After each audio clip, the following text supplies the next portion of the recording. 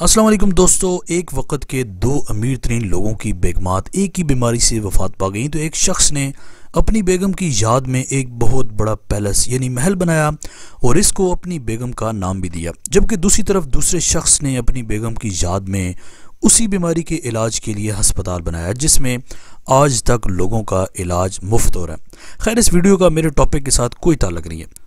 आप सब लोग Indian famous YouTuber Dhruv Rathee को तो जानते ही होंगे। बहुत सी इन्फॉर्मेटिव वीडियोस बनाते हैं, जिनमें से ज़्यादातर वीडियोस के साथ लोगों का इख्तलाफ नहीं होता। इनके एक क्लिप आजकल बहुत ज़्यादा वायरल हो रहा है और इनके क्लिप के साथ कुछ पाकिस्तानी यूट्यूबर्स को जोड़ा जा रहा है और कहा यह जा रहा है कि यह सब माइंडसेट की गेम है। आप लोग पहले वो क्लिप मुलायजा करें फिर आपसे बातचीत करते हैं। मैं तो कभी नहीं कहूँगा कि अपनी स्टडीज़ से ड्रॉप आउट करो इन्फ्लुएंसर बनने के लिए। स्टडीज़ तो किसी भी हालत में मत छोड़ना है बनने के लिए। क्योंकि पढ़ाई जो होती है ना वो फाउंडेशन बिल्ड करती है नॉलेज और एजुकेशन का आपकी पूरी ज़िंदगी के आपके माइंड में ये चीज़ फ़ीड कर दी जाती है कि इसके अलावा और कोई चारा नहीं है। पढ़ाई करोगे तो आप कुछ करोगे, वरना कुछ भी नहीं है। यार, आप बंदे को बताओ कि सेल्फ मेड क्या होता है। खैर दोस्तों, मैं बात को ज़्यादा लंबा नहीं खींचूँगा, लेकिन जो मेरा पॉइंट ऑफ़ व्यू है, वो आप सबके सामने रखने वाला हूँ। देखें डगी ने बहुत दफ़ा ये कहा है कि पाकिस्तान का तालीमी निज़ाम सही नहीं है। इसके अलावा इन्होंने काफ़ी बार ये भी बोला कि अगर स्टूडेंट्स मेरा पोर्टफोलियो देख लें, कमाई का तो अपनी डिग्रियों को आग लगा दें। जबकि दूसरी तरफ़ ध्रुव राठी ये कह रहा है कि तालीम लाजमी सीखो।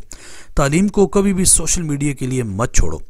दोस्तों, इस वीडियो के बाद लोग काफ़ी ज़्यादा लान तान कर रहे हैं पाकिस्तानी यूट्यूबर पे। इसलिए मुझे ये वीडियो बनानी पड़ी।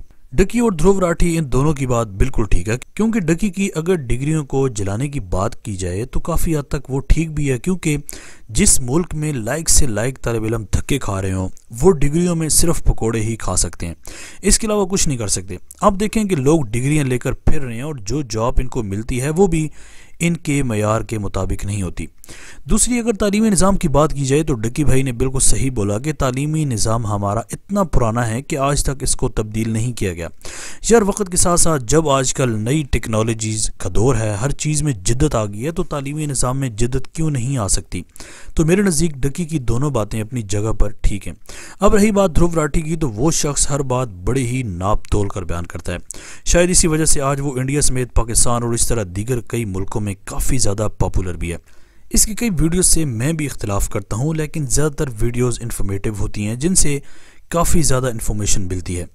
इनकी ये वाली बात एक ऐसी बात है जिस पर हर शख्स को अमल करना चाहिए। क्योंकि देखें, बहरहाल जो भी है, डिग्री आपके काम कहीं ना कहीं तो आ ही जाती है।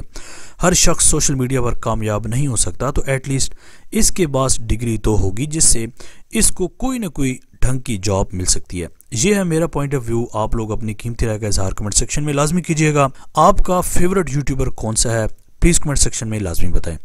आज तक के लिए इतना ही। अगली वीडियो तक के लिए इजाज़त दीजिए। अल्लाह हाफिज़।